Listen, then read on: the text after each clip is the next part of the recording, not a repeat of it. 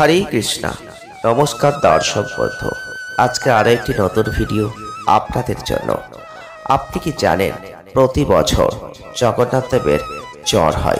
কিন্তু কেন? আপনাদের আজকের ভিডিওই সেটি জানাব। প্রতি বছর জ্যৈষ্ঠ মাসের পূর্ণিমা তিথিতে জগন্নাথ নিজের ভাই ও বোনের সঙ্গে একশো আটটি কলসির জলে পবিত্র স্নান করেন। এই অত্যাধিক স্নানের কারণেই জগন্নাথ বলরাম সুভদ্রা অসুস্থ হয়ে পড়েন। শাস্ত্র মতে জ্যৈষ্ঠ পূর্ণিমা ভগবান জগন্নাথ দেবের জন্মতিথি। জগন্নাথ ধামে ভগবান বিষ্ণু জগন্নাথ রূপে বিরাজ করেন। এটি একমাত্র মন্দির যেখানে ভগবানের বিগ্রহ, কাঠের আর এখানে জগন্নাথ নিজের দাদা বলভদ্র বোন সুভদ্রার সঙ্গেই পূজিত হন।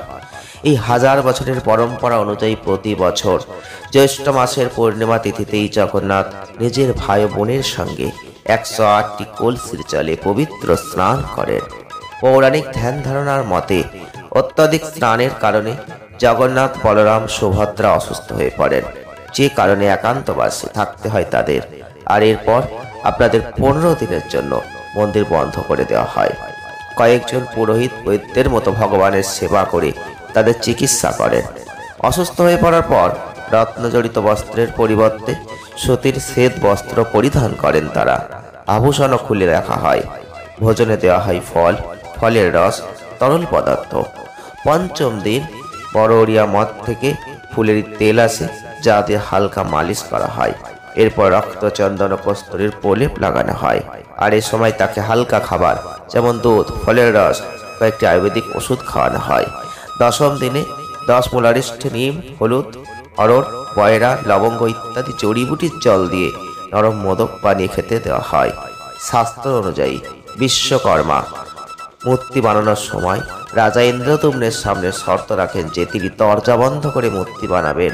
যতক্ষণ না তার মূর্তি বানানো শেষ হচ্ছে, ভেতরে কেউ প্রবেশ করতে পারবে না। তার কাজ শেষ হওয়ার আগে দরজা খুলে গেলে তিনি মূর্তি বানানো ছেড়ে দেবেন। আর বন্ধ দরজার পিছনে মূর্তি নির্মাণের কাজ হচ্ছে কিনা, তা তদারকির জন্য রাজা প্রতিদিন দরজার বাইরে দাঁড়িয়ে মূর্তি তৈরির আওয়াজ শুনতেন। এমনই একদিন কোনো আওয়াজ তার কানে না এলে তিনি অধীর হয়ে পড়েন। ভাবেন যে বিশ্বকর্মা নিশ্চয়ই মূর্তির কাজ ফেলে রেখে চলে গেছেন। আর এইভাবে রাজা দরজা খুললে শর্ত অনুযায়ী বিশ্বকর্মা সেখান থেকে অন্তর্ধান হয়ে যান। তখনও জগন্নাথ বলরাম সুভদ্রার মূর্তি অসম্পূর্ণই ছিল। আর তাই দেখে রাজা বিলাপ করতে শুরু করলে বিষ্ণু, রাজা ইন্দ্রদম্নকে বিলাপ না করতে বলেন। রাজাকে দর্শন দিয়ে জানান। তিনি নারদকে কথা দিয়েছিলেন, বাল্যরূপে এই আকারেই পৃথিবী লোকে বিরাজ করবেন। আর এরপর তিনি রাজাকে একশো আটটি ঘটের চলে তার অভিষেকের আদেশ দেন। সেই দিনটাই ছিল জ্যৈষ্ঠ পূর্ণিমা। আর তখন থেকে এই ধারণা প্রচলিত হয়ে পড়ে যে যদি কোনো বালককে ঠান্ডা জলে অত্যধিক স্নান করানো হয়, তাহলে সে অসুস্থ হয়ে পড়বে। সেজন্য সেদিন থেকে জ্যৈষ্ঠ মাসের অমাবস্যা পর্যন্ত অসুস্থ শিশুর মতো ভগবানের সেবা করা হয়। আর রথযাত্রার একদিন আগে জগন্নাথ বলভদ্র সুভদ্রা সুস্থ হয়ে উঠলে তাদের মন্দিরের গল্প গর্ভগৃহে ফিরিয়ে আনা হয়। এরপর তারা নিজের মাসির সঙ্গে দেখা করতে গুন্ডিচা মন্দিরে যান। আর এখানেই বিভিন্ন প্রকারের ব্যঞ্জন তাকে ভোগ দেওয়া হয়। মাসির বাড়িতে নয় দিন কাটিয়ে পুনরায় তিনি আবার মন্দিরে ফিরে যান। এই ছিল সেই পৌরাণিক কাহিনী, যার জন্য এত কিছু আপনারা শুনতে পান, দেখতে পান, জানতে পারেন।